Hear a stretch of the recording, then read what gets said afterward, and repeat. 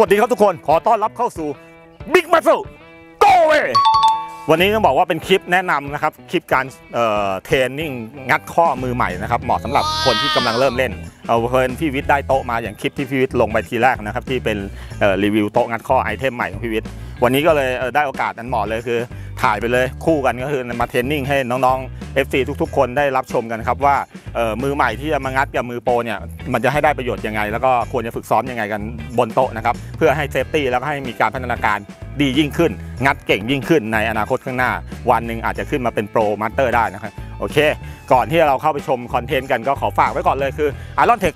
ที่สุดของความแข็งแกร่งครับสำหรับเพื่อนๆน้องๆคนไหนที่สนใจจะออกกำลังกายเพื่อเปลี่ยนบุคลิกภาพนะครับทำให้ดูใส่เสื้อผ้าแล้วสวยงาม หรือว่าคนที่รักสุขภาพ ต้องการลดน้ำหนัก ดูแลสัดส่วนต่างๆอะไร หรือว่าซื้อสินค้าฝากคุณพ่อคุณแม่ให้ออกกำลังกายให้ท่านได้มีสุขภาพดี ก็สามารถที่จะเข้าไปอุดหนุนสินค้าในอ r o n Tech ได้เลยนะครับ ที่สุดของความแข็งแกร่งที่นั่นคือที่เดียวจบครับอุปกรณ์กีฬา ติดตามกันครับว่าแขกรับเชิญของพี่วันนี้จะเป็นใครต้องบอกว่าเขาเป็นนักแสดงมาดเข้มหน้าหล่ออยู่คนหนึ่งครับ นั่นก็คือน้องคิมคิมคิมคิมคิมคิมคิมอยู่ไหนวะอ้าวมาแล้วน้องคิมอุ้ยเข้มมาเลยครับอ่าน่าน่าดู action actionสวัสดีครับสวัสดีครับแนะนำตัวเลยครับน้องคิมสวัสดีครับ ผมคิมฮาร์ดคอร์นะครับผมเออปัจจุบันสายเทิงสายบันเทิงสายบันเทิง ยกทุกวันเมาทุกแก้วยกทุกวันเมาทุกวันเดี๋ยวช่องพี่จะไม่ค่อยขาวก็ตอนนี้แหละโอเคโอเคได้ได้ได้ได้ได้ไม่เป็นไรแต่เอาเล่นได้อยู่ได้อยู่ก็น้องคิมเขาเป็นนักแสดงนะครับเพื่อนๆแล้วก็น้องคิมตอนนี้ปัจจุบันนี้เออเคยผ่านผ่านผลงานละครอะไรมาบ้างครับ ปัจจุบันตอนนี้มีกำลังถ่ายทำอยู่นะครับ ก็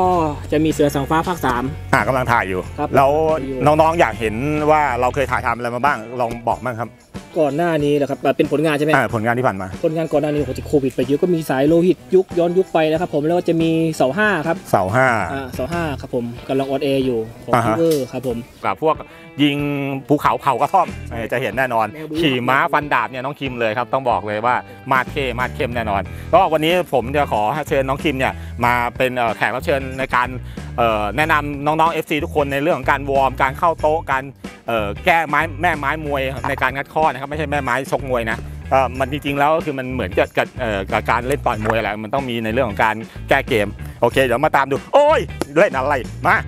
เดี๋ยวเราจะมาวอร์มกันก่อนว่าวอร์มยังไงเนาะทุกคนอะไรน้องคิมว่าอุปอุปอุปกรณ์ทนดีครับ ทนครับเมื่อกี้เล่นเอาไหล่ผมน่วมเลยอะ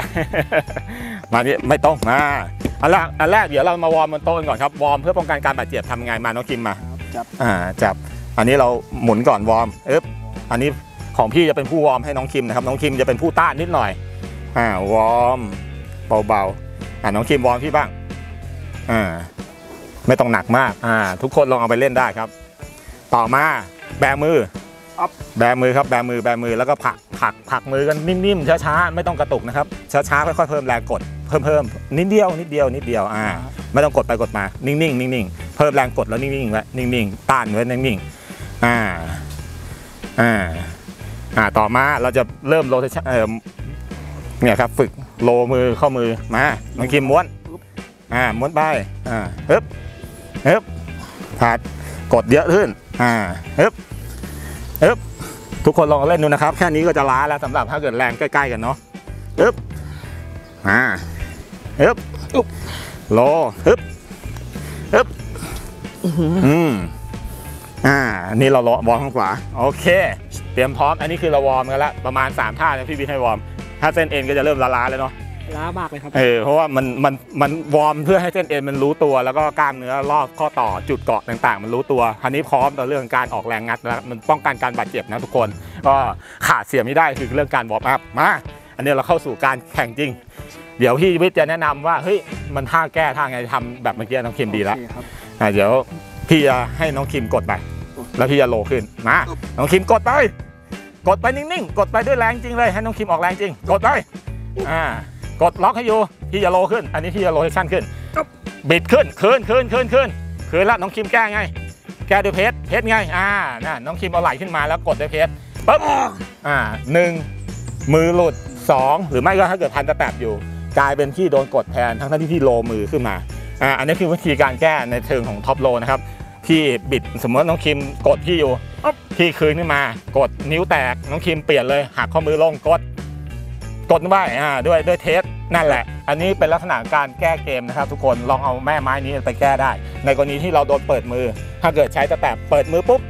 เราใช้เนี่ยเอาหลังเข้ามาเหน็บไว้ที่ต้นแขนครับเป็นลักษณะของการใช้ไตรเสพเพสเนาะหลังแขนเพสไปไปทั้งตัวเลยครับ ไม่ได้ออกแรงอย่างนี้นะ ทุกคนอย่าใช้แบบอย่างนี้นะครับ ไม่ได้ไทรเสพเพสเนาะไม่ได้ออกแรงแต่ปลายแขนกดอย่างนี้ไม่เอาตั้งตัวแล้วเอาหลังเนี่ยเข้าไปใช้แล้วก็กดไปด้วยหลังเลย ใช้น้ำหนักทั้งตัวเนี่ยกดลงไปเออใช้ประมาณส้นข้อมือเนี่ยเอานิ้วแค่เกี่ยวไว้อย่างเดียวแล้วก็ส้นข้อมือกดลงไปน้องคิมลองทำใหม่ เพจใหม่อ่าเลื่อนศอกด้วยเลื่อนศอกเลื่อนศอกแล้วกดกดอ่าประมาณอย่างนั้น อย่างนั้นอะทำให้เห็นใหม่ชัดๆอึ๊บอึ๊บอ่ากดอึ๊บอ่าดีกดกดด้วยตรงนี้คือไม่ห่างไม่ห่าง เพราะต้นแขนกับตัวตัวของ forearm จะไม่ห่างกัน ก็คือออกแรงจากแผ่นหลังครับหนีแผ่นหลังให้ดีแล้วกดใช่ ปล่อยข้อมือเลย ปล่อยข้อมือปล่อยข้อมือเกี่ยวอย่างนี้เลยอ่าหลุดปึ๊ดเห็นไหมจริงๆถ้าพันตะแตกก็ต่างคนต่างใช้เลยก็สู้กันอ่าเห็นไหมมันมันไม่ต้องออกแรงที่ข้อมือครับเหมาะสำหรับคนที่ hand control ข้อมือไม่แข็งแรงเท่ากับอีกฝ่ายหนึ่งไม่แข็งแรงเท่ากับอีกฝ่ายหนึ่งโดนเขาชิงมือเราได้ทำให้มือเราเข้าไปอยู่ใน hand control เขาเนี่ยเราก็แก้ด้วย press เลย อ่าเป็นวิธีการแก้ไม้แม่ไม้มวยไทยเออเต็มอีกครั้งหนึ่งเอามาลองลองกันอีกครั้งหนึ่งดูช้าๆนะครับทุกคนเดี๋ยวพี่วิทย์จะให้กดไปกดไปก่อนกดเดี๋ยวพี่จะ roll ขึ้น กดอึ๊บอ่าพี่ roll ขึ้น roll ขึ้นปึ๊ดแก้เกมยังไงอ่าเห็นไหมเปลี่ยนอ่าเปลี่ยนเป็น press ทุกคนลองเอาไปใช้ดูครับรับรองว่าเป็นแม่ไม้อีกแม่ไม้หนึ่งที่ใช้แก้เกมได้ดี ทุกคนจะเห็นที่พี่ใช้กับน้องตูนได้ครับ มือพี่แตกไปแล้วมือพี่อยู่ใน strap พี่แก้ไขเป็น press นั่นเองนั่นแหละคือวิธีการแก้แก้ top roll อีกทางหนึ่งทุกคนจะเป็นท่าที่เรียกว่า ท่าที่ต้องแก้เผ็ดพวกสาย power นะครับ คือคนที่ถนัด hook ถนัด hook เนี่ยคือเป็นคนที่มี biceps กับช่วง forearm แข็งแรง เราจะสู้เขายังไงในการที่เขาจะโจมตี hook กับเรา เราจะแก้ไขยังไงเออทุกคนถ้าเกิดเป็นสาย top roll เดี๋ยวพยายามดูพี่วันนี้ครับพี่จะมีท่าเด็ดในการแก้ทาง top ไอ้ท่าฮุกของเขา ในกรณีที่จะทำให้เราเนี่ยไม่ต้องไปโดนกดที่ข้อมือส่วนส่วนข้างบนของเราเพราะคนที่ถนัดฮุกเนี่ยเขาจะกดด้วยเส้นล่างเข้าที่ข้อมือมาดูครับมาน้องคิมลองออกแรงฮุกนะ ไม่ไม่ไม่ต้องออกแรงจริงก็ได้ทำให้ดูเดี๋ยวพี่จะลองทำให้ดู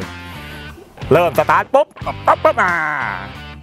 เขาเรียก back pressure กลับครับทุกคนแล้วก็เปิดมือ back pressure กลับเปิดมือหมุนหมุนหมุนหมุนมือนิดหน่อยเพื่อทำให้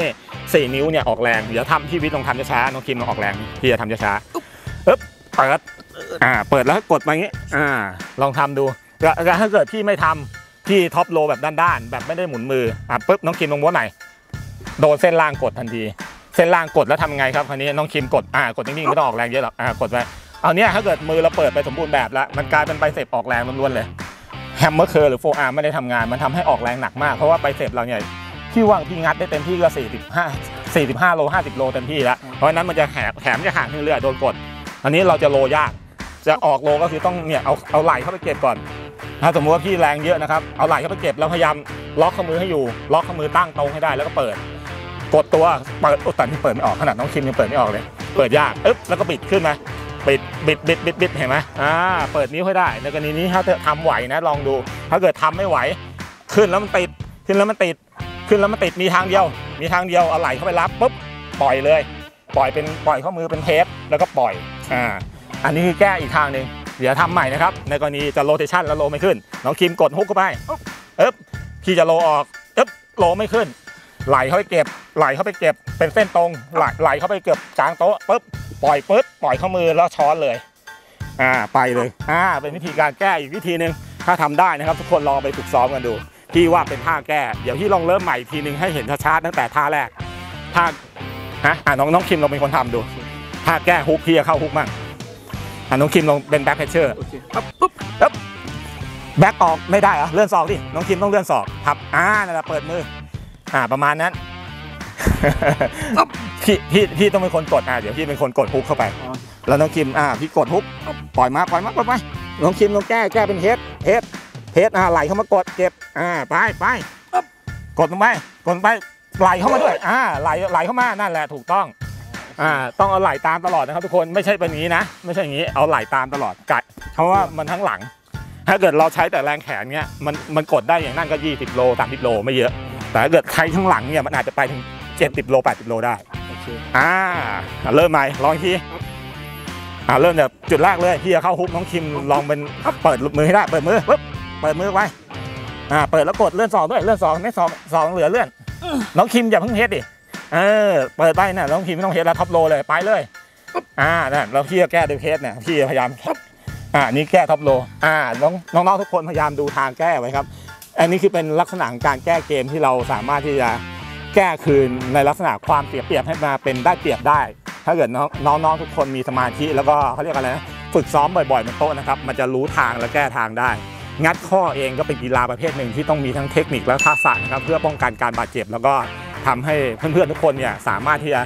ขึ้นมาเป็นระดับท็อปๆของประเทศไทยได้นะครับ สามารถที่จะทำให้เก่งได้ วันนี้ผ่านไปก็จะเป็นในเรื่องการแนะนำ trick ต่างๆนะครับในการแก้เกม บนโต๊ะแล้วก็วิธีการ warm up ต่างๆ หวังว่าคงจะเป็นประโยชน์กับเพื่อนๆ และน้องๆ รุ่นใหม่ๆ ที่สนใจกีฬางัดข้อนะครับ แล้วก็พี่วิทย์ฝาก content หน้าๆไว้ด้วยสำหรับตอนนี้ก็คือพี่วิทย์มีโต๊ะประจำช่องพี่วิทย์แล้วก็คือสั่งซื้อมานี่ก็ถือว่าเป็นโต๊ะที่แข็งแรงทนทานพอสมควร แล้วก็สามารถเอามาทำกิจกรรมในวันหน้าๆได้เลยในในเรื่องของเนอะ super match กับคนที่แบบ ร่างกายแข็งแรงแล้วพี่วิทย์จะตามไปทำคอนเทนต์ด้วย แล้วก็อาจจะเป็นในเรื่องของลักษณะของเอ่อยูทูบเบอร์ต่างๆ เดี๋ยวฝากติดตามรับชมครับ แล้วก็อาจจะเป็นในเรื่องของ